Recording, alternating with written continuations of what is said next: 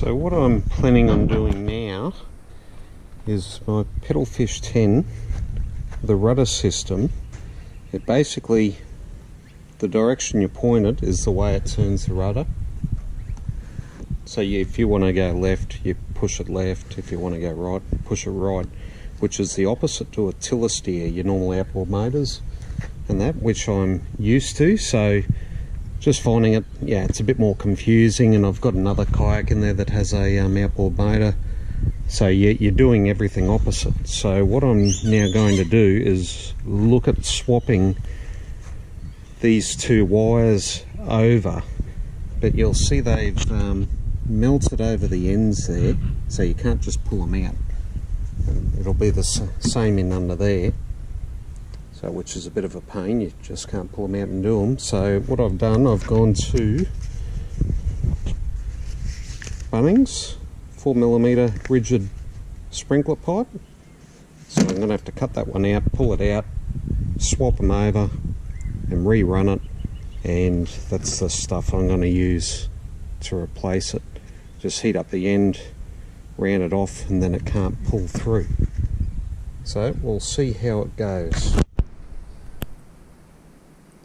Alright, so just undone all the uh, Allen keys out of there, the bolts with the Allen key. That gets you in under there. Taking the rudder off there. Your kit that you buy it with has, um, you've got the two wires in there. There's a little grub screw. So you just undo that with them wires loosen them off and they'll pull out. Nice and easy. Undone that the grub screws. Loosen off the wire. And just bring that out of there. Lovely. Now I've got to work out which one's going to what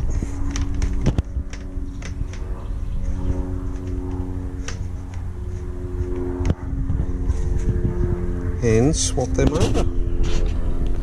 So I've just used a lighter just to slightly melt the end there and um,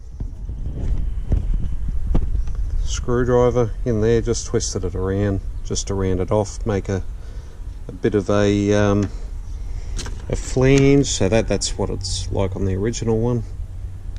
So very easy to do Got those two in and done. Just pulled them through there, inside there, and ring along out here. So now just got to pull them reasonably tight and um, cut them off. And it's the same thing, just melt the ends on them as well. Got them done. So now it's got to feed the uh, wire the wire back through there and connect it up. And see how she goes. So I pulled those wires nice and tight, got that straight, the rudder straight and just done them up with the grub screws and the Allen key in there. And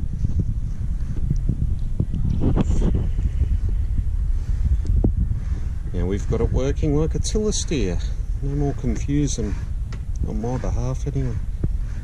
Easy little conversion, didn't take long, probably 20 minutes. All done. So, I just took about 20 mil off the bottom of that. That little bit that was hanging out from underneath. So now,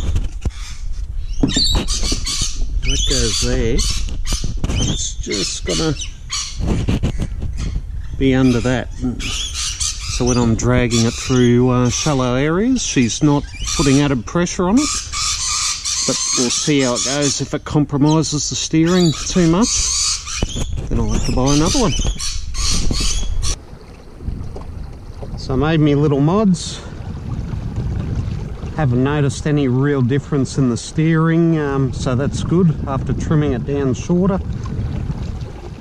Still still turns nice and tight